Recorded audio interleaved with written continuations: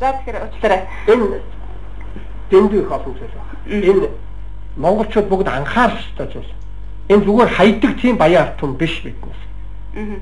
Ер нь бол ойлгох хөрөнгө оруулалтын гэрээг одоо батлагдаж эхлэх яригдаж эхлэх үеэс нь эрдэмтэд одоо Ганбаатаргай одоо Ганбаатар гишүүн, авир мэд доктор гэх мэт одоо олон хүмүүс ойлгох хөрөнгө оруулалтын гэрээний болохгүй зүйл заалтуудыг бол маш олон хэвлэл мэдээлэл хэрэгслүүдээр байнга ярьж исэн. Тэгэхээр ер нь одоо өмнөх парламентын үед гэдэм үү одоо өмнөх 4 жилд бол ойлгон хөрөнгө оруулалтын гэрээ бас болохгүй байна. Энэ ингэж батлагдаж болохгүй Монголын ард түмэнд ашиггүй байна гэсэн ийм зүйл зүйлийг бол за маш олон гишүүд бол бас ярьдаг байсан. За тэгэхээр би ганцхан зүйл дээр нэлээд их гайхаж байна л да. Одоо өмнөх парламентод тухайлхан бол Эрдэнэ гишүүн одоо улсын хурлын дарга инх бол тийм ээ а одоо уул уурхаан сайд ган хуй гихмэд одоо нэлээд олон гишүүд бол ойлгон хөрөнгө оруулалтын гэрээг засах хэрэгтэй, залруулах хэрэгтэй гэдэг дээр байр суурь илэрхийлээд одоо та бүхэнтэй бас хамтран одоо байр суурь илэрхийлээд явдаг байсан. Гэвтэл өнгөрсөн засгийн газрын мөрийн хөтөлбөрийн энэ батлах үеэр энэ хүмүүс бүгд эсрэг болсон харагдаж байсан л да. Тэгэхээр би бас энэ дээр нэг сурвалжлагыг үзүүлээд тэгээд дараагийнхаа ярилцлага руу ороод бас шууд утастай байгаа. Тэгээд шууд утас аваад үзэгчдийн саналыг сонсъё. Та бүхнээс бас асуух асуулт үзэгчдэд байгаа. Тэгэхээр өмнөх парламентын үед за Эрдэнэ гишүүн болон за Давуул Урхан сайд ган хуйг нар одоо яг оюутлын хөрөнгө оруулалтын гэрээн дээр яг ямар байр суурьтай байсан бэ гэсэн энэ ярилцлагыг би бас бэлдсэн байгаа. За ингээд бүгдээрээ дэлгэцээр энэ ярилцлагыг эхлээд сонсгоё дараа нь ярилцсан да. Ярихаараа үнэхээр би бол зөвхөн одоо хуулийн хүрээд хуулийн дагуу хийж байгаа гэж яриад байгаа. Гэтэл яг үйлдэл дээр болохоор дандаа хуулийн эсрэг олон түмнийхээ эсрэг ийм үйлдэлүүд бол хийгдэж байгаа. Өнөөдөр оюутлогоо дээр ярил олон асуудал байна. Өнөөдөр 250 сая долларын хөрөнгө оруулалтыг одоо урьдчилгаа маягаар урьдчилгаа төлбөр гэсэн нэрийн дор өгнө гэж ард түмэн зарлж ард түмнийг хуурсан. А тэгээ эхний өгсөн 100 сая долларыг одоо эргэн төлөгдөх нөхцөлтэйгээр олгож байгаа хүүтэй. Тэгээ энийг чи юу гэж ойлгох юм бэ? Тэгээ өөрийнхөө 34%-ийг худалдаж аваагүй гэж зоригт сайд удаа дараа мэдэгдээд байна. Би бол худалдаж авахын цаагаар худалдаж аваад үндсэндээ Монгол орн өөрийнхөө баялагийг эзэмшдэг орн юм уу? Эсвэл өөрийнхөө баялагийг гадны хин нэгэн компаниас худалдаж авч суудаг ийм орон юм уу гэдэг дээр үнэхээр эргэлзэж байна. Өнөөдөр аюухаа манцын Торонтогийн хөрөнгөний министр босгосноор олон тэрбум доллар өнөөдөр Монголын эдийн засгт ямар нэгэн нөлөө өрөөгөж өгөх үү? Өгч байгаа юу? Энэ асуудлаар хин ч надад хариулахгүй байгаа. Энэ асуудлаар хин ч юу ч ярихгүй байгаа. Тэгээ оюут толгой гэрээ ингээ буруу хийгдээд оюутлахаа ашиглалт хууль зөрчөөд өнөөдөр оюутлахаа дээр эхнээс Монголын далтаа байгуулсан гэрээгээ дур мэдэн зөрчиж, дур мэдэн одоо дураараа аашилж байгаа нь үйлдэлийг манай засгийн газар хэдий болтол ингэж толгойг нэг суух юм бэ? Ерөөсөө оюутлын ордын нөөцийн одоо шийдэл 50% ч ерөөсөө оруулахгүй, оруулахгүй. Тэрийг тэрийг оруулчихаар нийт ашиг их гарчих байхгүй.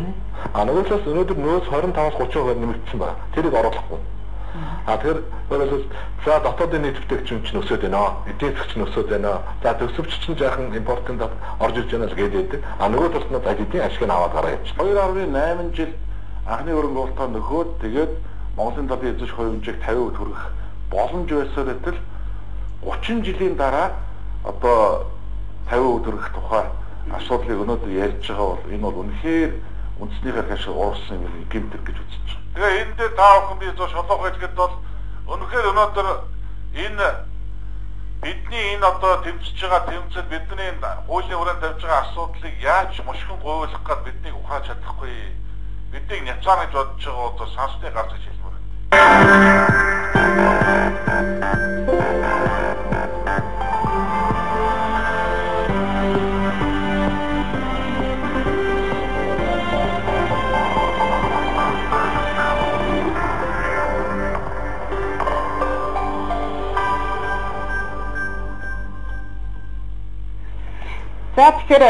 Бид одоо өмнөх парламентын үед улсын хурлын одоо улсын хурл сууж байгаа Эрдэнэ гишүүн Завууд ухаан сайд ган хоёрыг нарын хувьд одоо оюутлахын хөрөнгө оруулалтын гэрэн дээр ямар байр суурьтай байсан бэ гэдгийг бол үзэгч та бүхэндээ сая харууллаа. Тэгэхээр энэ хүмүүсийн хувьд бол за яг өнөөдрийн хувьд бас байр суурь нь өөрчлөгдсөн байгаа. Тэгэхээр миний хувьд бол бас энэ дээр гайхаж байна. За ер нь одоо өмнө нь бол эх орныхоо төлөө оюутлахын хөрөнгө оруулалтын гэрээг сайжруулъя, өөрчлөе. За энэ ард түмнийхээ эрх ашигын төлөө дуурайя гэж ингэж дуурдаг байсан хүмүүс өнөөдөр одоо яг оюутлахын хөрөнгө оруулалтын гэрээг ярих үеэр яагаад эсрэг болчихсон юм бол энд одоо миний хувьд бол зүгээр өөрийнхөө зүгээс дүгнэхэд бол за улс төрийн эрх шиг намын эрх шиг арай илүү давмгаалаад байна гэсэн ийм бодол төрөд байгаа. Тэгэхээр энэ дээр та бүхэн яг ямар байрлалтай байна? Ямар бодолтой байна? Та бүхний саналыг сонсъё. Энэ дээр За ямар ч байсан би юмны давуу талыг олж харахыг хичээдгээ. Өнөөдөр энийг төлөө тэмцэж байгаа Батэрдэн гишүүн байна, Боловч чулуун гишүүн байна, Уян гишүүн, Даваасрын гишүүн гээд Баасан хөө гишүүн байна. Үнэхээр одоо бидэнд маш их олон сөрөг давталгоо, дарамт одоо маш том одоо сөрөг PR одоо хийхээ бэлдэж байгааг бол бас хийж байгаа хүмүүс нь хүртэл өөрхий санаа зовж ирж хэлэх юм байна шүү дээ. Монголчууд эх орнд шүү дээ. Энд чинь одоо өчигдөрхөн интернетээр тавигдсан материалуудыг бүгдийг өнөөдөр татцсан байна гэдэг бол энэ гадныхан ямар хүчтэй ажиллаж байна. Тэгээд монголчууд бид гадны мөнгөөр хоёр хуваагдаж хоорондоо талцмааргүй байна.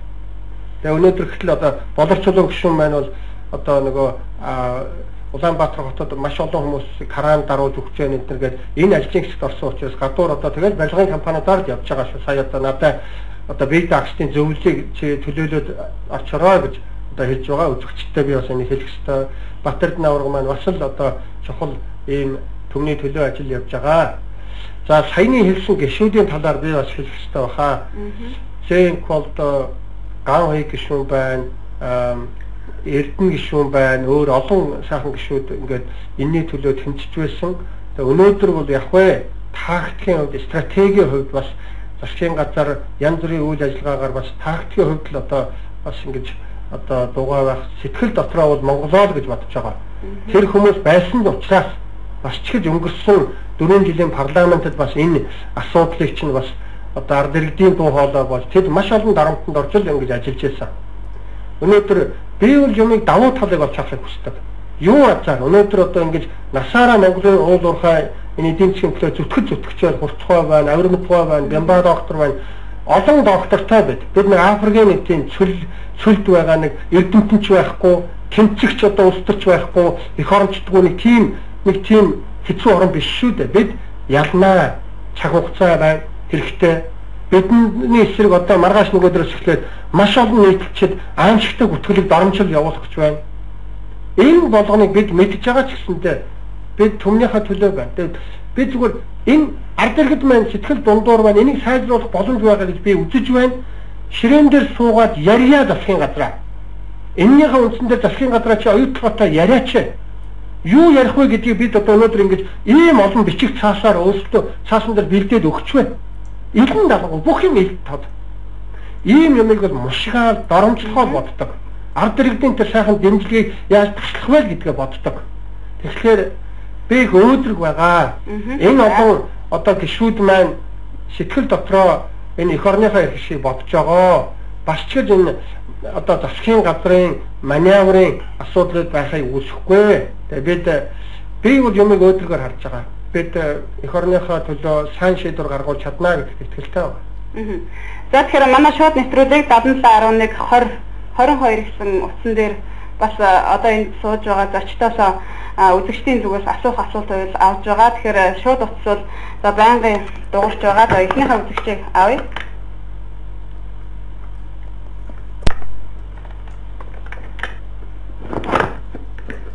За тэгчтэй. Мм. За.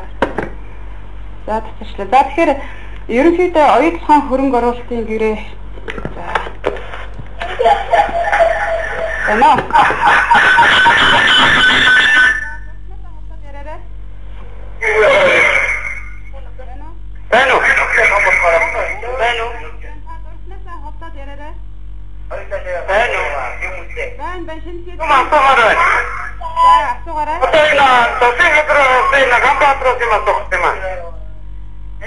Άμα στέλνω τα 160 τα 120 και 20 και 20 και 20 χρονών. Нэм хийм үү зөвхөн системч одоо ингээд бид нар чинь аль залуугаараа 20 жил ажиллаад зөвхөн гарсан. Зөвхөн гарсан нөхөө олгоороо гарсан байхгүй юу? Саяны нэмэлтээр их жоохон гарсан шүү дээ. Чи одоо бид нар сонод амьдрал тааж өгөхгүй олон хүмүүстэй үнд чинь. За тэгэхээр манай өнөөдрийн шууд нэвтрүүлгийн сэдв оюутлахаа сэдв байгаа. Тэгэхээр таны хувьд бас арай өөр асуудал дараагийн удаад бэлтгэмжээр нэвтрүүлгээд бэлдэж хүрэх болно. Тэгэхээр энэ үзэгчийн хувьд дараагийн удаад бид нар нэвтрүүлгийг бэлдэж бас Ганбаатар гишүүнээс тусгайлан ярилцлага авч үзэгч та бүхэндээ та бүхний сонирхсан энэ сэдвээр нэвтрүүлгийг бэлтгэж өгнө гэж амлаж байна. За тэгэхээр би бас авир мэд байгаас асуумаар байна. Одоо ер нь одоо энэ оюутлахын хөрөнгө оруулалтын гэрээдээр за 34%, 51% гэж байнгын маргалдаад одоо энэ гişүүд бол за заавал ягаад ингэж 34% ингээд хүн тавьд туучаад дараа нь худалдаж авна гэж яриад идэг. Гэх мэтчлэн энэ олон асуудал байгаад байна. Энэ дээр бол одоо зарим хүмүүс ер нь энэ гişүүд чинь ингээд хэрэлдээд л байдаг мөртлөө тодорхой үр дүнд хүрэхгүй байна гээд засах маяг руу орсон хүмүүсд нэлээх харагдаад байна л да. Ер нь бид нар гадуур яваа сурвалжлага хийж хахад за оюутан хөрөнгө оруулалтын гэрээгээд одоо 4 5 жил 6 жил ярьж байгаа. Одоо угаасаа энэ үл бүртгэхгүй. Одоо өнгөрсөн гэсэн ийм зүйл их ярьж байгаа. Тэгэхээр таны хувьд би бас мэрэгжлийн хүний хувьд энэ дээр ямар нэгэн гаргалгаа гаргаж одоо цаашдаа оюутан энэ хөрөнгө оруулалтын гэрээг Монголд ашигтай талаар байгуулах тал дээр одоо ямар арга хэмжээ байна гэж бодож байгаа вэ? 34% тохиолд бол бас л боломжлогч учраас ойлгомжтой. Ганбаатар гишүүн зэрчлээ. 66% гадны хондог 34% авна гэдэг бол ямар ч эрүүл шарвал тийм юу байж болохгүй тийм.